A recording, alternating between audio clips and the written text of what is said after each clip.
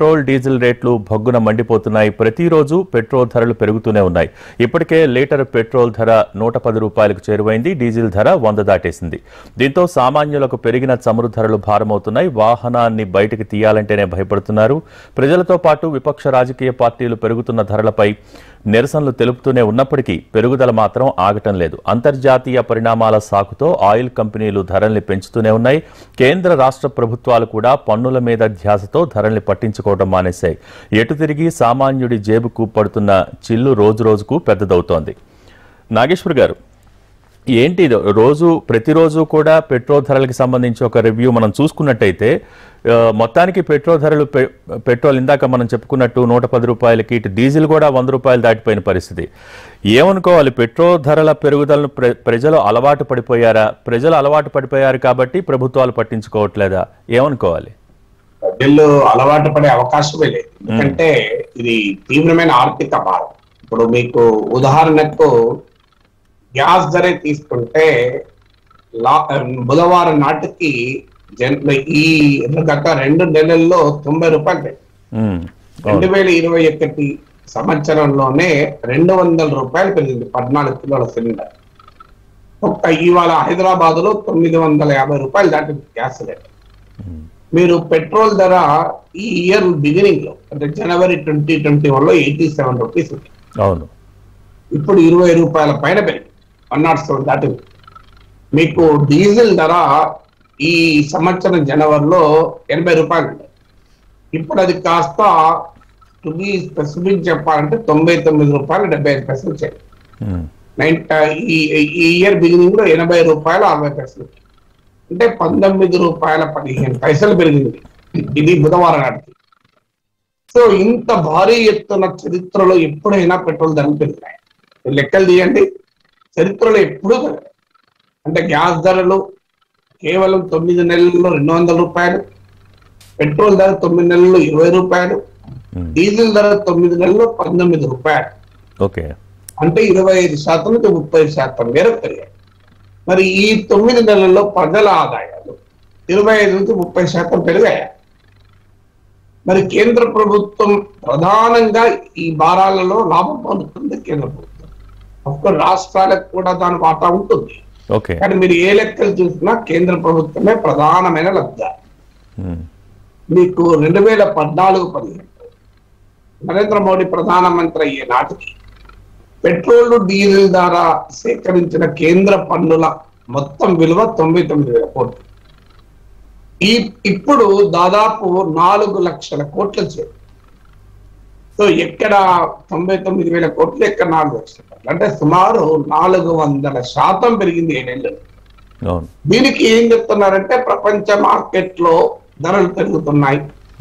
ప్రపంచ చమురు మార్కెట్లు ధరలు పెరిగాయి. ఇది పచ్చబద్ధం రెండు వేల పద్నాలుగులో నరేంద్ర మోడీ ప్రధానమంత్రి అయ్యే నాటికి నా గుర్తున్నంత వరకు నూట ఎనిమిది డాలర్లు బ్యారెల్ రెండు వేల పన్నెండులో యూపీఏ టూ అధికారంలో ఉన్న సమయంలో బ్యారెల్ చమురు ధర నూట నలభై డాలర్లు పెరిగింది. ఇప్పుడు ఎంత ఉంది? ఇటీవల పెరుగుతూ వచ్చి ఇప్పుడు ఎనభై మూడు డాలర్లు. సో ఎనభై మూడు డాలర్లు ఏ రకంగా చూసినా మోడీ ప్రభుత్వం అధికారంలోకి వచ్చిన నాటికి ఉన్న ధరతో పోలిస్తే చాలా తక్కువ. ఓకే. మరి నూట నలభై డాలర్లు బ్యారెల్ చమురున్నప్పుడు కూడా ఈ ధర లేదు కదా.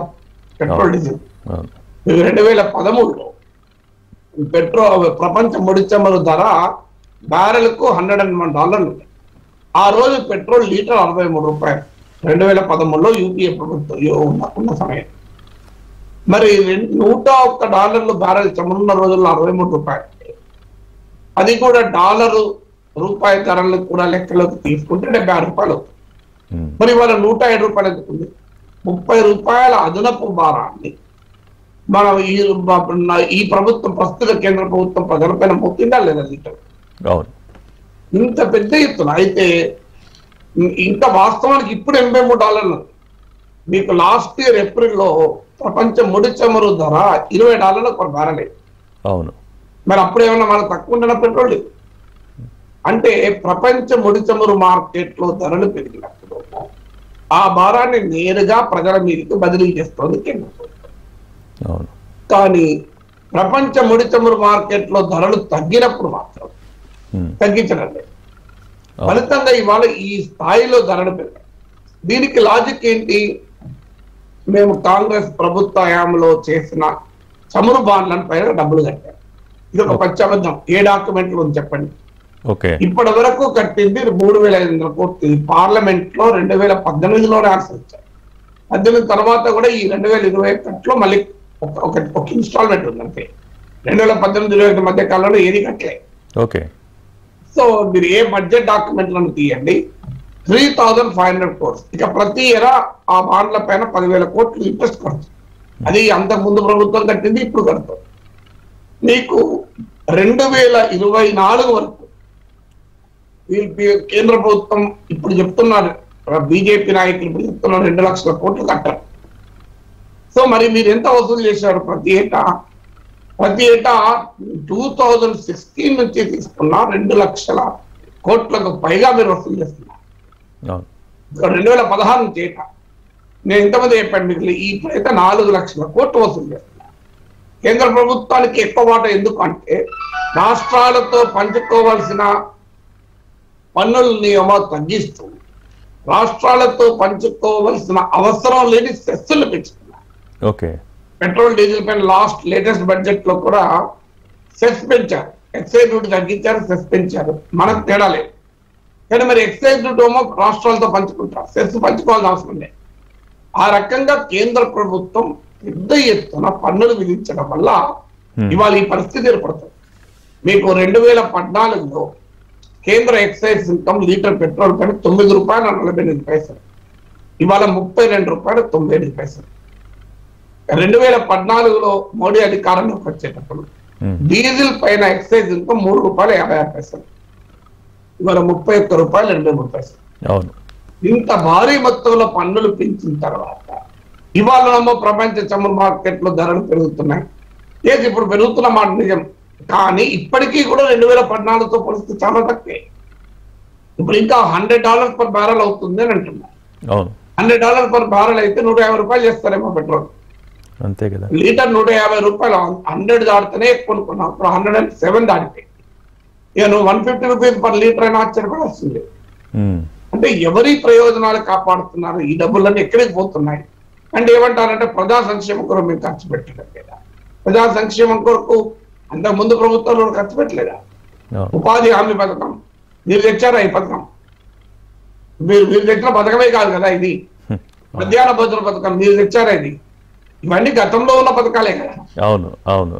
సో ఆ- పథకాలు మీరు అమలు చేస్తున్నారంటే. పోనీయండి. అసలు ప్రజలపైన భారాలు మోపి ప్రజల సంక్షేమం చేస్తామంటే ఎట్లా?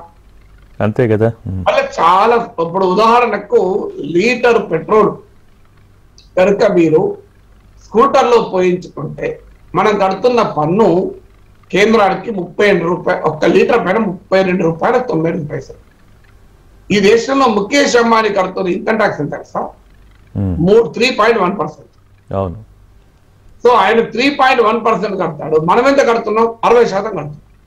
ఇవాళ మీరు వంద రూపాయలు పెట్రోల్ పోయించుకుంటే అరవై రూపాయలు మనం పన్నే కడుతున్నాం. అంటే ఒక లీటర్ పెట్రోల్ స్కూటర్లో ఉపయోగించుకునే సామాన్యుడు అరవై శాతం పన్ను కడితే యాభై ఐదు వేల నాలుగు వందల అరవై ఒక్క కోట్లు ఏడాదికి లాభం తెచ్చుకున్న ముఖేష్ అంబానీ. కడుతున్న పన్ను effective tax rate three point one percent అంటే ముఖేష్ అంబానీకి మూడు శాతం పన్ను. స్కూటర్ మీద పోయేవాడికి అరవై శాతం పన్ను కట్టడం. పెట్రోల్ పైన అవును. మీరు కావాలంటే గూగుల్లో కొట్టండి. Effective tax rate of Reliance Industries Limited అని కొట్టండి వస్తుంది ఓకే. నేను చెప్పి అబద్ధం ఏమో తేలుతారు అన్ని పత్రికలు వచ్చింది త్రీ పాయింట్ వన్ పర్సెంట్ కంటే అంటే అఫ్ కోర్స్ అది కార్పొరేట్ ఇన్కమ్ ట్యాక్స్ ఇది సెంట్రల్ ఎక్సైజ్ డ్యూటీ కదా. నేను కా- పోలిక ఒకరు. ఇంకొకరు ముఖేష్ అంబానీ పెట్రోల్ వేసుకున్నా కట్టాల్సి వస్తుంది. అంతే కదా? కానీ అదింత ఇదంత ఎవరి పైన నువ్వు భారాలు వేస్తున్నావు అవును కంపారిజన్ ఎందుకు చెప్తున్నానంటే మాకు ప్రజల కొరకు ఖర్చు పెడదాం డబ్బులు కావాలి కదా అంటారు. ప్రజల కొరకు ఖర్చు పెట్టడానికి ఆదాయం లేక కరోనాతో దెబ్బతిన్న జీవితాల పైన అడ్డగోలుగా పన్నుల బాధలు కన్నా అయ్యో యాభై ఐదు వేల నాలుగు వందల అరవై ఒక్క కోట్లు సంపద ఒక్క ఏడాదిలో ఆదాయాన్ని సంపాదించిన వ్యక్తి కేవలం రెండు వేల కోట్ల లోపే కట్టాడు పన్ను. ఆయన మీద వేయండి ఇంకో మూడు వేల కోట్లు ఏమవుతుంది? అంటే ఆయన ఆయన మన మనకు మిత్రుడు మనకు ఎన్నికలప్పుడు ఉపయోగపడతాడు. రేపు ఉత్తరప్రదేశ్లో ప్ర- మరి ఓట్లు కొనడానికి అవసరం పడతాడు పంజాబ్లో ఓట్లు కొనడానికి అవసరం పడతాడు. మేము ఆయన మీద వేయం. ఓకే. మరి ఎవడు సామాన్యుడు దిక్కులేనాడు కదా స్కూటర్ మీద పోయేటోడు. ఇలా స్కూటర్ మీద వచ్చి పాలు పోసి పోయే వాళ్ళు అడగండి. అయ్యా మాకు పాలు పాలు గిట్టుబాటు అవుతుంది సార్ పెట్రోల్ ఖర్చు పెరుగుతుంది. సో అడగండి మీరు ఇంటికి పని చేస్తానికి వచ్చిన వాళ్ళు అడగండి. రాలేక ఎంత ఇబ్బందులు పడుతున్నారు. సో ప్రజలపైన ఇంత భయంకరంగా భారాలు మోపడం అది ఎలా కరెక్ట్ అవుతుందో ఏ లాజిక్ చెప్పమనండి? కానీ నాగేశ్వర్ గారు ఇటీవల ఒక పెద్ద చర్చ ఏంటంటే ప్రజల్లో జరుగుతున్నది ఒకటి పెట్రోల్ రేట్లను జీఎస్టీ పరిధిలోకి తెస్తే కనుక రేట్లు బాగా తగ్గిపోతాయి దానికి ఎవరు ప్రయత్నించట్లేదని ఒక చర్చ జరుగుతోంది. నిజంగా జీఎస్టీ పరిధిలోకి వీటిని తేవటం సాధ్యమయ్యే పనేనా? ఎందుకంటే ఇది సరైన సమయం కాదని మొన్న నిర్మలా సీతారామన్ అన్నారు మెజారిటీ రాష్ట్రాలు ఒప్పుకోవట్లేదని అని కూడా అన్నారు. ఏంటి అసలు జీఎస్టీ పరిధిలోకి తేవటం సాధ్యమేనా? ఇది రాష్ట్రాల పైన అపవాదు మోపడానికి కేంద్రం ఆడుతున్న నాటకం. ఓకే. కేంద్రం ఒప్పుకోకుండా జిఎస్టిలో ఏ నిర్ణయము జరగదు. జిఎస్టి మండలిలో. ఓకే రాష్ట్రాలు ఏమంటున్నాయి? జిఎస్టి పరిధిలో తేవద్దని అనడం లేదు జిఎస్టి కుదిరినప్పుడు ఒప్పందం కుదిరినప్పుడు ఏంటంటే నష్టపరిహారాన్ని ఇవ్వాలి. ఎందుకంటే మాకు జిఎస్టి వల్ల రాష్ట్రాలు పన్నులు వేసే అధికారాన్ని కోల్పోతుంది అవును. సో పన్నులు వేసే అధికారాన్ని కోల్పోతున్నాయి. జిఎస్టి ఎప్పుడు కేంద్రానికి రాష్ట్రాలకు కుదిరిన ఒప్పందం ఏంటంటే ఒకటి కొన్ని రక alcohol products liquor petrol diesel ఈ రెండు ఆయా రాష్ట్ర ప్రభుత్వాలు తమ వద్దే ఉంచుకొని మిగతా అధికారాలన్నీ జిఎస్టి మండలికి బదిలీ చేశారు పన్నులు అధికారం ఓకే. సో రెండవ కండిషన్ ఏంటంటే ఐదేళ్ళ పాటు జిఎస్టి నష్టపరిహారాన్ని కి- ఇస్తుంది కేంద్రం వాళ్ళు. కేంద్రం అంటే అది కూడా కేంద్రం జేబులకి లేని ఇవ్వదు. దాని కొరకు ప్రత్యేకమైన సిన్ గూడ్స్ పైన అంటే సిగరెట్లు పొగాకు ఉత్పత్తులు వీటిపైన ఎక్కువ పన్ను వేసి ఆ డబ్బుతో జిఎస్టి నష్టపరిహార నిధిని ఏర్పాటు చేసి ఆ నష్టపరిహారం రాష్ట్రాలకు ఇస్తారు అని. ఇప్పుడు మీరు జిఎస్టీని పెట్రోల్ డీజిల్ పైన చేస్తే ఖచ్చితంగా ధర తగ్గుతుంది. ఎందుకు తగ్గుతుంది? ఇవాళ మనం పెట్రోల్ డీజిల్ పైన అరవై శాతం పన్ను కడుతుంది ఒక లీటర్ పెట్రోల్ పైన వంద రూపాయలు మనకు ఖర్చు పెడితే అరవై రూపాయలు పన్నులే కేంద్ర రాష్ట్ర ప్రభుత్వాలు. సో ఆటోమేటిక్గా మీకు జిఎస్టిలో మాక్సిమం పన్నైనా ఎయిటీన్ పర్సెంట్. కొన్ని ఇక సిన్ గూడ్స్ అంటే వాడకూడని వస్తువుల పైన ఎక్కువ పన్ను. సో లగ్జరీ గూడ్స్ కూడా ఎక్కువ పన్ను. కానీ ఇది లగ్జరీ గూడ్స్ కాదు సిన్ గూడ్స్ కాదు. సో ఎయిటీన్ కాకపోతే ట్వంటీ ఎయిట్ పర్సెంట్. అంతేగాని ఎక్కువ ఉండదని స్కోప్ లేదు. అరవై శాతం అయితే ఉండదు కదా. అవును అందువల్ల ఖచ్చితంగా ధర తగ్గుతుంది. అయితే రాష్ట్రాల మరి రాష్ట్రాలకు ఆ, కేంద్రానికి ఉండే అధికారాలు రాష్ట్రాలకు ఉండవు. కేంద్రం ఎన్నైనా అప్పులు చేయొచ్చు. కేంద్రం రిజర్వ్ బ్యాంక్ నిధులు కూడా తీసుకోవచ్చు. సో కేంద్ర ప్రభుత్వానికి ఉండే కష్ట అధి- అధికారాలు ఎక్కువ. సో అందువల్ల కేంద్ర రాజ్య రాష్ట్రాలు ఏమనుకున్నాయంటే మాకు నష్టపరిహారం ఇచ్చి మీరు జిఎస్టీ డీజిల్ జిఎస్టీలో పెట్టుకొని పెట్రోల్ డీజిల్. ఇప్పుడు నష్టపరిహార సమయం పూర్తవుతుంది. చూడండి కేంద్రం తెలివిగా ఏమంటోంది? ఈ ఐదేళ్ళ పాటు పెట్రోల్ డీజిల్ జిఎస్టీలో చర్చ చర్చ పెట్టలేదు ఎందుకంటే ఇప్పుడు ఒకవేళ చర్చ ఐదేళ్ళ కిందనే చేస్తుంటే రాష్ట్రాలకు గనక రావాల్సినంత జిఎస్టీ రాకపోతే కంపెన్సేషన్ ఇవ్వాల్సి వస్తుంది. అందుకే ఈ కంపెన్సేషన్ క్లాజ్ ఎండ్ అవుతున్న సమయం ఇప్పుడు మాట్లాడుతున్నారు మరి ఇప్పుడు కంపెన్సేషన్ ఇవ్వండి మీరు. రాష్ట్రాలు నిజంగానే జిఎస్టీలో చేర్చండి రాష్ట్రాలకు ఆదాయం తగ్గుతుంది దాన్ని కంపెన్సేట్ చేయండి. అభ్యంతరం ఎందుకు చెప్తారు రాష్ట్రాలు? అంతే కదా. అభ్యంతరం. కారణం చెప్పేది ఏంటి? రాష్ట్రాలు తమకు ఉండే అధికారాలన్నీ జిఎస్టీ మండలికి బదలాయించారు ఇవాళ తెలంగాణ ప్రభుత్వం ఆంధ్రప్రదేశ్ ప్రభుత్వం మాకు కావలసిన విధంగా పనులు వేసుకుంటాం జిఎస్టీ కేంద్రం. అందువల్ల మీరు రాష్ట్రాలకు నష్టపరిహారానికి ఏర్పాట్లు చేసి పెట్రోల్ డీజిల్ జిఎస్టీలో చేరుస్తామని ఎందుకు ఎందుకు అభ్యంతరం చెప్తే రాష్ట్ర ప్రభుత్వమైన? బీజేపీ జాతీయ కార్యనిర్వాహక కమిటీని ప్రకటించింది. ఎనభై మంది సభ్యుల కమిటీలో తెలుగు రాష్ట్రాలకు చెందిన ఐదుగురు నేతలకు చోటు దక్కింది. తెలంగాణ నుంచే ఏకంగా నలుగురికి అవకాశం ఇచ్చారు. ఇక కేంద్ర మంత్రి కిషన్ రెడ్డితో పాటు జితేందర్ రెడ్డి వివేక్ వెంకటస్వామి గరికపాటి రామ్మోహన్లకు కార్యనిర్వాహక కమిటీలో స్థానం లభించింది. వీరితో పాటు ఈటల రాజేందర్ విజయశాంతికి ప్రత్యేక ఆహ్వానితులుగా ప్రకటించారు. ఇక కొత్తగా పార్టీలో చేరిన వారికి కూడా బీజేపీ పెద్దపీట వేసింది. నాగేశ్వర్ గారు రాష్ట్ర ప- తెలంగాణకు సంబంధించి రాష్ట్ర పార్టీ చరిత్రలో తొలిసారి ఇంత ప్రాధాన్యం దక్కింది అంటున్నారు. సో ఏంటి తెలంగాణపై బీజేపీ కొంచెం ఫోకస్ని ఎక్కువ చేసినట్టుగా మనకి భావించవచ్చా? జాతీయ కార్యవర్గంలో ఇంతమందికి స్థానం కల్పించడాన్ని ఎలా చూడాలి. అంటే మొదటి నుంచి కూడా తెలంగాణలో ఉన్నంతలో ఆ- ఉమ్మడి ఆంధ్రప్రదేశ్లో కూడా బీజేపీకి కాస్త కోస్త బలం ఉంది తెలంగాణలో.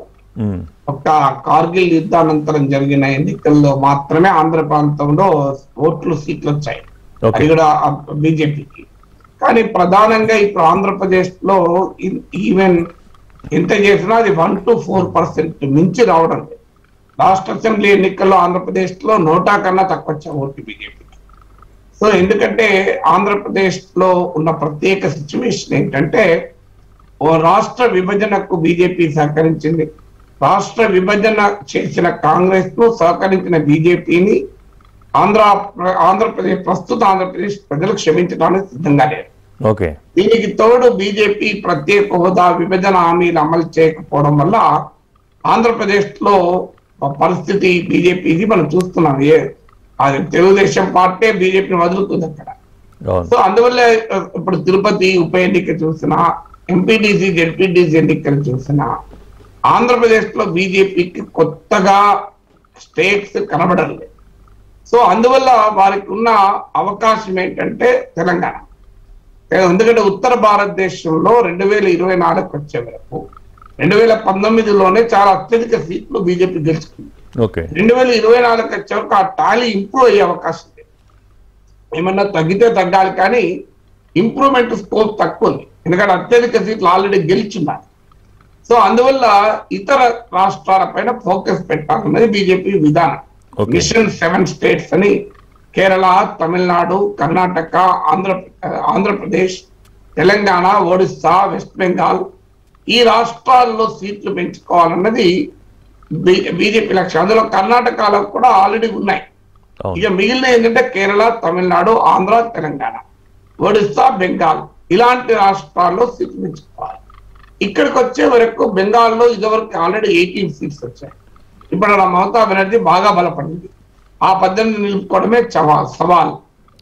ఆంధ్రలో అవకాశం లేదు. తమిళనాడులో స్కోప్ లేదు. ఎందుకంటే స్టాలిన్ నాయకత్వంలో డిఎంకే కాంగ్రెస్లో ఉంది. కేరళలో ఎల్డీఎఫ్ యూడిఎఫ్ ల మధ్యనే పోటీ. ఇక మిగిలింది ఏంటి తెలంగాణ? అందువల్ల ఎంతో కొంత ఆశ తెలంగాణలో ఉన్న మాట నిజం. దీనికి తగ్గట్టుగా ఆశే కాదు వాస్తవంగా కూడా లాస్ట్ ఎలక్షన్లో అనూహ్యంగా నాలుగు ఎంపీ సీట్లు గెలుచుకుంది సాంప్రదాయంగా బీజేపీకి గెలిచే సీటు సికింద్రాబాద్. ఇప్పుడే కాదు దత్తాత్రేయ గారు అంతకుముందు ఎంపీగా ఉండే. సో సాంప్రదాయకంగా ఉన్న సికింద్రాబాద్తో పాటు ఉత్తర తెలంగాణలో తెలంగాణ ఉద్యమ నడిబొడ్డున తెలంగాణ రాష్ట్ర సమితికి బలమైన కేంద్రమైన ఉత్తర తెలంగాణలో బీజేపీ మూడు సీట్లు గెలుచుకుంది. అందులో కేసీఆర్ కూతుర్నే ఓడించి గెలిచారు. సో దీంతో బీజేపీకి డెఫినెట్గా మోర్ హోప్స్ పెరిగిన మాట నిజం. సో తెలంగాణలో అసెంబ్లీ ఎన్నికల్లో రాకపోయినా కనీసం లోక్సభ ఎన్నికలైనా వస్తాయన్నది ఆ పార్టీ నమ్మకం. ఎందుకంటే లాస్ట్ అసెంబ్లీ ఎన్నికల్లో రెండు వేల పద్దెనిమిది అక్టోబర్లో ఏడు శాతం ఓటింగ్ వచ్చింది. ఉన్న ఐదు సీట్లలో నాలుగు పోయి ఒకటే మిగిలింది. కానీ లోక్సభ ఎలక్షన్స్ వచ్చే వరకు నాలుగు సీట్లు రావడమే కాకుండా ఇరవై శాతం ఓటింగ్ కూడా వచ్చింది. ఓకే. సో అందువల్ల బీజేపీ హోప్స్ ఏంటంటే తెలంగాణ నుంచి ఎక్కువ ఎంపీలు రావడానికి అవకాశం ఉంది అనేది ఆ పార్టీ అంచనా. అందుకే మీరు ఆ పార్టీ నాయకులు ఇక్కడికి రావడం కానీ ఇటీవల దుబ్బాక జిహెచ్ఎంసీ ఎన్నికల్లో వచ్చిన సానుకూల ఫలితాలు ఈ థీసిస్కు మరింత బలాన్ని చేకూర్చాయి. తర్వాత బీజేపీ రిలీజియస్ పోలరైజేషన్. మతపరమైన సమీకరణకు కూడా తెలంగాణకు అనుకూలమైన ప్లేస్గా భావిస్తారు. మీరు GHMC లో Hyderabad versus Bhagyanagar Rohingya MIM so ఇవన్నీ అప్పుడు మొన్న కూడా మీరు చూడండి మహాసంగ్రామ యాత్రలో బండి ఇచ్చిన పిలిపేంటి? హిందువుల కోసం మేము కొట్- కొట్లాడతాం. తాలిబాన్ రాజ్యం కావాలా? రామరాజ్యం కావాలా? మీకు ఈ నినాదాలు మీరు గమనిస్తే రజాకళ్ళ రాజ్యం కావాలా? రామరాజ్యం కావాలా? రజాకళ్ళ రాజ్యం కేసీఆర్ మనం ఏదైనా విమర్శించవచ్చు. రజాకళ్ళ రాజ్యం కాదు కదా కేసీఆర్. కేసీఆర్ రజాకర్లతో పోలిస్తే రజాకర్లు బాగా మంచి రజాకర్ల కాలంలో చాలా బాగున్నట్లు లెక్క. ఓకే. మా రజాకారులు దాడులు చేసినట్టు కేసీఆర్ ప్రభుత్వం దాడులు చేయడంలో ఇంటికి వచ్చి అంతేగా. రజాకారుల క్రూరత్వాన్ని సమర్థించిన వాళ్ళు అవుతారు. అయినా తాలిబాన్ల క్రూరత్వాన్ని సమర్థించిన వాళ్ళు అవుతారు. తాలిబాన్ల రాజ్యంలో బాలికలు స్కూళ్ళకు పోవద్దు మన పోతలేదా తాలిబాన్ రాజ్యంలో మహిళలు ఉద్యోగాలు చేయొద్దు తెలంగాణలో ఉద్యోగాలు చేయడం లేదా? తాలిబాన్ల రాజ్యంలో కాల్చి చంపుతారు. ఇక్కడ కేసీఆర్ ప్రభుత్వం కాల్చి చంపుతాందా? ఉమ్, సో మన ఎగ్జాగరేషన్ కూడా పరిమితులు ఉంటాయి కదా. ఎందుకు ఈ మాట అంటున్నారు? కేవలం మతపరమైన సమీకరణ తేవటానికి ఆంధ్రప్రదేశ్లో సాధ్యం. అక్కడ కూడా ప్రయత్నం చేశారు. ఆడ కూడా జగన్మోహన్ రెడ్డి క్రైస్తవుడు జగన్మోహన్ రెడ్డి నేపథ్య క్రైస్తవుడు కనుక జరుగుతోంది అని మొదలు పెట్టారు కానీ ఎన్ని చేసినా అది కదలడం లేదు. ఎందుకంటే అక్కడ ఆంధ్రాకి వచ్చే వరకు మీకు మతపరమైన అస్తిత్వం కన్నా భాషాపరమైన అస్తిత్వం ఓకే. మీకు గుంటూరులో ముస్లిం హిందూ ఒకే రకంగా ఉంటారు. ఏంటక్క ఇలా ఏం చేసినావు అక్క అని కూడా మాట్లాడుకుంటారు. అందువల్ల ఇక్కడికి వచ్చే వరకు ఆ భాష సంస్కృతుల్లో కూడా తేడా ఉంది కనుక దాన్ని విభజనకు ఉపయోగించడానికి అవకాశం ఉంది. ఓకే. అందువల్ల తెలంగాణను మరొక ఎక్స్పెరిమెంట్గా వాడుకున్నామని నిజం. దీని యొక్క బీజేపీ స్టైల్ ఆఫ్ పాలిటిక్స్కు దీన్ని ప్రయోగశాలగా కూడా వాళ్ళు ఆశిస్తున్నారు. ఓకే. కానీ నిన్న ఈ సెలక్షన్స్ చూస్తే కనుక సరే ఎప్పటి నుంచో బీజేపీలో ఉండి పార్టీతో అనుసంధానమై కలిసి పనిచేస్తున్న వారు ఒక అయితే కొత్త వారికి కూడా ఈ కమిటీలో స్థానం కల్పించడానికి అంటే ఎటువంటి సంకేతాలను ఇస్తోంది అనుకోవచ్చు? బీజేపీ మొదటి నుంచి కూడా. కోర్ పెరిఫరీ రెండు ఉంటాయి. ఓకే. కోర్లో మీకు ఆర్ఎస్ఎస్ నేపథ్యం ఉన్న నాయకత్వం ఉంటుంది.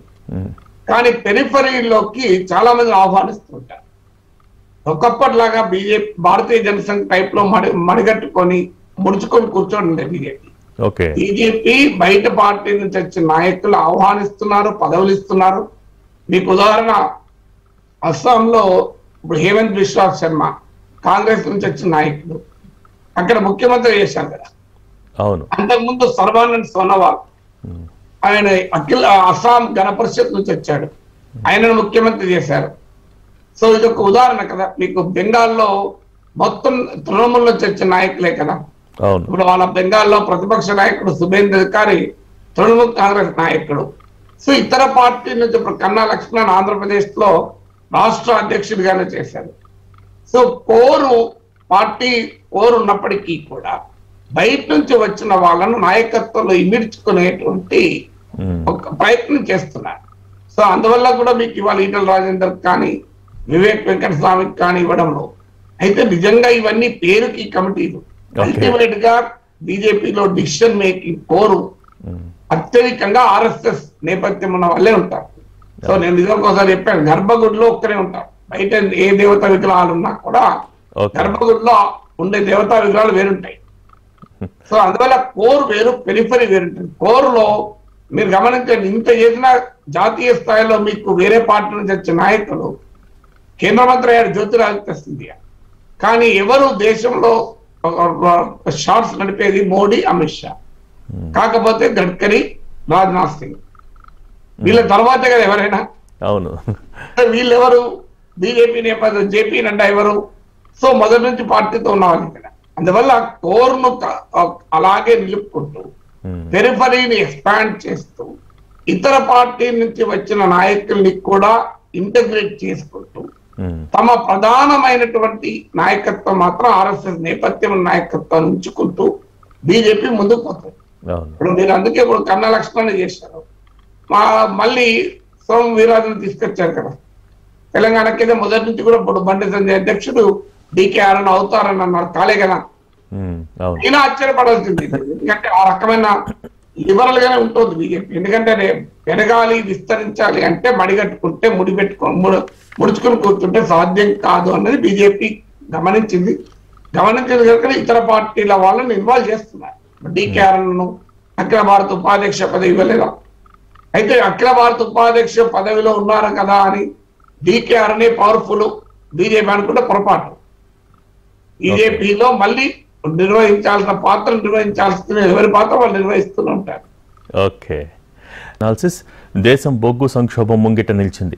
విద్యుత్ ఉత్పత్తి కేంద్రాలకు బొగ్గు కొరత సమస్యగా మారింది. ప్రపంచవ్యాప్తంగా బొగ్గు ఉత్పత్తి తగ్గటం ధరలు పెరగటంతో షార్టేజ్ ఏర్పడింది. కరోనా కాలంలో అంతర్జాతీయంగా బొగ్గు ఉత్పత్తి సంస్థలు మూతపడ్డాయి. ఈ నష్టాలను పూడ్చుకోవటానికి ఆయా సంస్థలు బొగ్గు ధరల్ని రెండు మూడు రెట్లు పెంచేశాయి. దీంతో థర్మల్ విద్యుత్ కేంద్రాలకు బొగ్గు కొరత తీవ్రమైంది. దేశంలో డెబ్బై శాతం విద్యుత్ ఉత్పత్తి బొగ్గుతోనే తయారవుతోంది. ఇక థర్మల్ పవర్ ప్లాంట్లో మూడు రోజులకు సరిపడే బొగ్గు నిల్వలు మాత్రమే ఉన్నాయి. నాగేశ్వర్ గారు ఏంటి బొగ్గు ఉత్పత్తి తగ్గటంతో దేశం ముందు ముందు విపత్కర పరిస్థితులను ఎదుర్కోబోతోంది? అసలు దీనికి కారణాలేంటి? భయపడాల్సిన స్థాయిలో ఈ సమస్య ఉంటుందనుకోవాలా? అంటే సహజంగా మనకు ఇరవై రెండు రోజుల బొగ్గు నిల్వలు పెట్టుకోవాలి thermal. Power plant. Okay. So ideal stocks. ఎందుకంటే మనకు థర్మల్ విద్యుత్ కేంద్రాలన్నీ కూడా బొగ్గు ఉన్న చోట లేవు. అంటే బొగ్గు ఉన్న చోట ఉండే పవర్ ప్లాంట్ను పిట్ హెడ్ ప్లాంట్ అంటారు. సో పిట్ హెడ్ ప్లాంట్లో అన్ని పిట్ హెడ్ ప్లాంట్లు కావు. కొన్ని మాత్రం ఇప్పుడు బొ- బొగ్గు ఉన్న చోటే ఉంటుంది. రామగుండం థర్మల్ పవర్ స్టేషన్ పక్కనే గోదావరి కింద బొగ్గు నిల్వలు ఉన్నాయి. సో అన్ని అలా ఉండవు. అందువల్ల బొగ్గు రవాణాలో ఉత్పత్తిలో ఉండే ఒడిదుడుకులు ఉంటాయి కనుక థర్మల్ పవర్ స్టేషన్లో తంబ్ రూల్ ఏంటంటే ఇరవై రెండు రోజుల నిల్వలు పెట్టుకోవాలి. ఓకే. సో అయితే ఈ ఏడాది మొదటి నుంచి కూడా ఆ స్థాయిలో నిల్వలు థర్మల్ పవర్ స్టేషన్లో లేవు. ఇప్పుడైతే నాలుగు రోజుల నిల్వలకు పడిపోయాయి అంటున్నారు. సో ఫోర్ డేస్ ఆఫ్ అవసరాలకు మించి స్టాక్స్ లేవు కోల్డ్ స్టాక్స్ ఉమ్, ఎందుకు లేవు అన్నప్పుడు ఒకటి అడిక్వేట్గా నిల్వలు మొదటి నుంచి కూడా మెయింటైన్ చేయలేదు కారణం ఏంటంటే డిమా ఉత్పత్తి అవసరం ఎంత ఉంటుందో తెలియదు. ఎకానమీ ఏ స్థాయిలో రికవర్ అవుతుందో తెలియదు. అందువల్ల అంచనాలో ఎక్కడో కాడ లోపం వచ్చి ఉంటుంది నిల్వలు పెట్టుకోలేదు. రెండవది ఏంటి అంటే ఇవాళ కోల్ ప్రొడక్షన్లో అంతరాయం ఏర్పడింది. అంటే. ప్రతి సెప్టెంబర్లో ఈ సవాల్ వస్తుంది అంటే వర్షాల మూలంగా ఉత్పత్తి దెబ్బతింటది రవాణా దెబ్బతింటది. ఎందుకంటే మన దేశంలో coal mining increasingly going towards open cast ఇప్పుడు నేను సింగరేణి ప్రాంతం నుంచి వచ్చిన వాడిని. మేము చిన్నప్పుడు చూసే వాళ్ళు అసలు ఓపెన్ కాస్ట్ మైన్ ఒకటి ఉండేది కాదు. నేను నేను పదో తరగతి దాకా సింగరేణి స్కూల్లో చదువుకున్నాను. ఆ రోజుల్లో ఒక్క ఓపెన్ కాస్ట్ మైండ్ తెలియదు నాకు. అన్ని ట్రెడిషనల్ ఇంక్లైన్ మైండ్స్ ఉంటాయి. ఓకే. సో ఇప్పుడు ఈ ఈ ఓపెన్ కాస్ట్ మైన్స్ పెరిగిపోతున్నాయి. మన దేశం మొత్తం బొగ్గు ఉత్పత్తిలో ఓపెన్ కాస్ట్ మైనింగ్ శాతం పెరిగింది. సో ఓపెన్ కాస్ట్ మైనింగ్ వర్షాకాలం తొందరగా ఉత్పత్తి ఆగిపోతుంది. సో అలాగే రవాణాలో కూడా ఇబ్బంది. ఇది రెండో కారణం. మూడో కారణం ఏంటంటే సడన్గా ఎలక్ట్రిసిటీ డిమాండ్ పెరిగింది. ఇప్పుడు వాస్తవంగా మన దేశంలో ఉత్పత్తి సామర్థ్యం లేక కాదు దేశంలో ఇప్పటికీ కూడా ఉన్న ఉత్పత్తి సామర్థ్యంలో మనము సగం కన్నా కాస్తంత అటు ఇటు ఉత్పత్తి చేస్తాం. అంటే ఇన్స్టాల్డ్ కెపాసిటీ మొత్తం ప్రొడక్షన్ ఉండదు. సో ఇన్స్టాల్ కెపాసిటీ చాలా ఉంది. కానీ ఈ డిమాండ్ సడన్ రైజ్ కావడం వల్ల దానికి తగ్గట్టుగా బొగ్గు నిల్వలు లేవు. ఇప్పుడు మీకు ఈ ఇమీడియట్గా ఎకానమీ చాలా వేగంగా రికవర్ అవుతోంది. దీన్ని పెంటప్ డిమాండ్ అంటారు ఎకనామిక్ భాషలో. అంటే అప్పటిదాకా పాండమిక్ వల్ల తొక్కి పెట్టబడిన డిమాండ్ వాయిదాలు వేసుకున్న ఖర్చులు పెట్టడం మొదలు పెడుతున్నారు. సో అందువల్ల ఎలక్ట్రిసిటీకి డిమాండ్ పెరిగింది.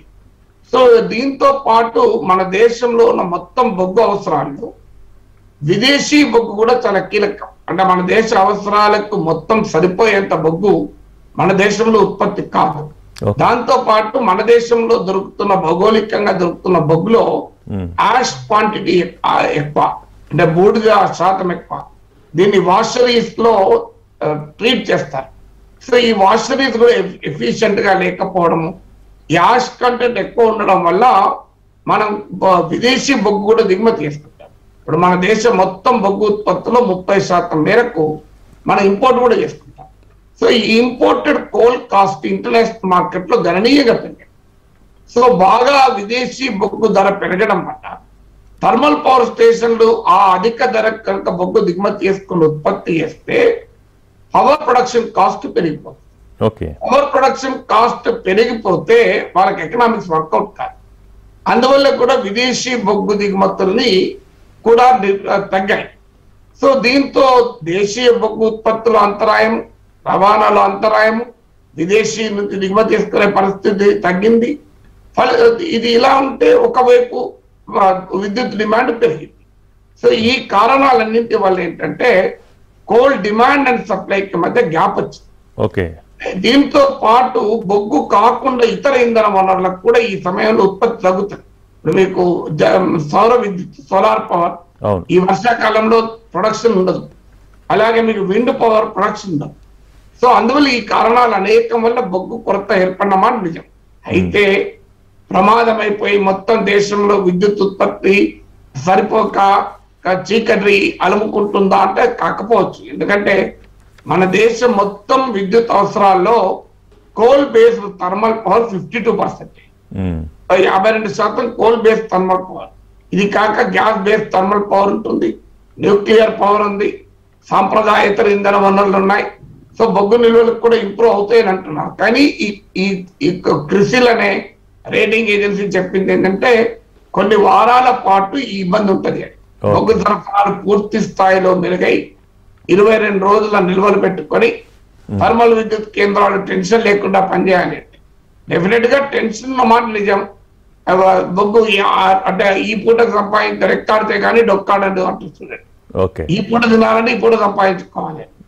సో ఆ పరిస్థితిలో ఇవాళ థర్మల్ విద్యుత్ కేంద్రాలు ఉన్నాయి. నాలుగు రోజుల బొగ్గు ఉన్నది. మళ్ళీ రెండు రోజులు రాకపోతే పోతే మళ్ళీ కష్టపడతారు. నాలుగు రోజులు కనుక సప్లై అయిపోతే ఇబ్బంది అవుతుంది. సప్లై అవుతూనే ఉంటుంది. కానీ ఎక్కడ అంతరాయం ఏర్పడినా కూడా ఇబ్బంది అయితే అయ్యే అవకాశం ఉంటుంది. కానీ పెద్ద ఎత్తున ఏదో చీకట్లు ఉంటాయా I don't think that will happen analysis తెలంగాణలో రాజకీయాలు బీజేపీ వర్సెస్ టీఆర్ఎస్ అన్నట్లుగా మారాయి. బీజేపీ ఊపందుకోవటానికి పరోక్షంగా కేసీఆర్ కారణమయ్యారన్న వాదనలు వినిపిస్తున్నాయి.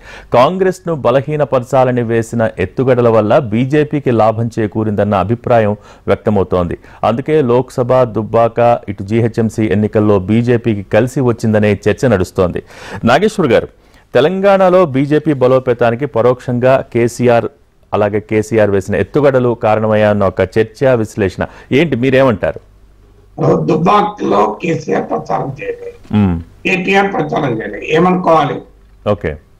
ఇప్పుడు ప్రతి ఉప ఎన్నికలు హుజూర్నగర్లో కేటీఆర్ రోడ్ షో నడిపారు. నాగార్జున సాగర్లో కేసీఆర్ వెళ్ళారు. మరి ఎందుకని దుబ్బాక్ వెళ్ళలే? దీనికి ఆన్సర్ ఉండాలి కదా. ఓకే. ఇప్పుడు కేసీఆర్ రోడ్ షో కానీ కేటీఆర్ రోడ్ షో కనుక పెట్టుంటే. దుబాకలో టీఆర్ఎస్ గెలిచేది కదా. సో అందువల్ల చాలా స్పష్టంగా మనకు అర్థమవుతుంది. ఎందుకు మరి చేశారు అన్నదానికి ఇప్పుడు రాష్ట్రంలో కాంగ్రెస్ పార్టీ పెరగకూడదు అంటే ప్రభుత్వ వ్యతిరేక ఓటు తీసుకునే మరో పార్టీ ఉండాలి. అవును. ఇప్పుడు ఏం జరిగిందంటే మొదటిది కాంగ్రెస్ పార్టీని ఎమ్మెల్యేలను తీసుకుంటూ బాగా కాంగ్రెస్ దెబ్బతీయడం మొదలుపెట్టారు. సో కేసీఆర్ అంచనా ఏముండే అంటే కాంగ్రెస్ దెబ్బతీస్తే ప్రతిపక్షం ఉండదు. ఇక మేమే అధికారంలో ఉంటాము కానీ ఈ లోపల బీజేపీ రూపంలో ఇంకో ప్రత్యర్థి పెట్టారు ఎవరో మంత్రులతో అన్నట్టు ఈ కాంగ్రెస్ వాళ్ళ సన్నాసులు వీళ్ళు గట్టి కూడా బీజేపీలు పెరిగేదా అని. అంటే ఒక క్లోజ్ మంత్ క్లోజ్గా ఉన్న మంత్రం అన్నాడు కేసీఆర్. మనమే కదా సార్ సన్నాసులం చేసింది.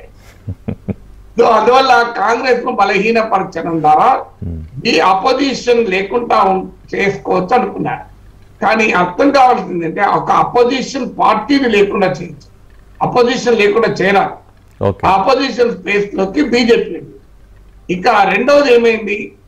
పాపం ఈ రోజు కాంగ్రెస్ పార్టీని ఫోకస్ చేయకుండా శత్రువు బీజేపీ అన్నట్టుగా దుబ్బాకలో వివరించారు మీరు గమనిస్తే రఘునందన్ రావు పైన దాడి సోదాలు బీజేపీని ఫోకస్ చేశారు. కారణం ఏంటంటే ఈ కాంగ్రెస్కు ఎలాగూ ప్రధాన ప్రత్యర్థి కాంగ్రెస్ కనుక బీజేపీ ఓట్లు పెరిగితే కాంగ్రెస్కు త్రిముఖ పోటీ అయి టిఆర్ఎస్కు బెనిఫిట్ అవుతుందని లెక్కలేశారు. మ్మ్. అది అది జరిగింది. కాంగ్రెస్ దెబ్బతిన్నది. బీజేపీ బాగా పెరిగి ఆగని టీఆర్ఎస్ నోడితే స్థాయికి వచ్చింది. సో అందువల్ల ఈ ఎత్తుగడల వల్ల ఏమవుతుంది అంటే వాస్తవంగా అది కావాలని చేశారా ఎలా చేశారన్నది కాదు కానీ కాంగ్రెస్ ముక్త్ భారత్ అన్న బీజేపీ లక్ష్యము. కాంగ్రెస్ ముక్త్ తెలంగాణ అన్న టిఆర్ఎస్ లక్ష్యం ఒకటే కదా. ఓకే. అందువల్ల ఈ- రెండు లక్ష్యాలు ఒకటే ఉంటే అలాగే ఉంటుంది. మీకు ఈ వ్యూహరచన వల్ల ఎవరు ఏ పార్టీకి ఎప్పుడు సపోర్ట్ ఇప్పుడు నాగార్జున సాగర్ ఉంది. నాగార్జున సాగర్లో మరి బీజేపీ ఎందుకు దుబ్బాకలో దూకుడు చూపె దూకు ఇక్కడ చూపెట్టలేదు? రీజన్ ఉండాలి కదా. అవును. సో ఇప్పుడు మన కళ్ళ ముందు జరుగుతున్నాయి కదా. లింగోది కూడా అయితే టీఆర్ఎస్ బీజేపీ కలిసే పోటీ చేస్తాయి కదా కాంగ్రెస్ పైన. అవును. సో మన కళ్ళ ముందు చూసాం కదా. సో అందువల్ల క్లియర్గా ఆయా పార్టీలు ఆయా సందర్భాల్లో అనుసరించే వ్యూహాలు చాలా విధులు ఉన్నాయి. కేసీఆర్ చెప్పారు కదా అసెంబ్లీలో anything can be possible in politics అని. అవును. So anything can be possible ఇక్కడ కూడా అప్పుడు. అందువల్ల సో కానీ ఈ లెక్కలు మనం పేపర్ మీద వేసుకున్నట్టుగా ఉండదు కదా రాజకీయాలు. రాజకీయాలు పేపర్ల మీద లెక్కలు వేసుకున్న వేరు సమాజంలో లెక్కలేడం. అందువల్ల ఒక ఒకరికి వ్యతిరేకంగా ఇంకోరు లేపితే వాళ్ళు నిర్ణయించే ప్రమాదం కూడా ఉంటుంది. Right right. Thank you thank you so much Nageswara garu విశ్లేషణ అందించినందుకు ఈనాటి కార్యక్రమంలో.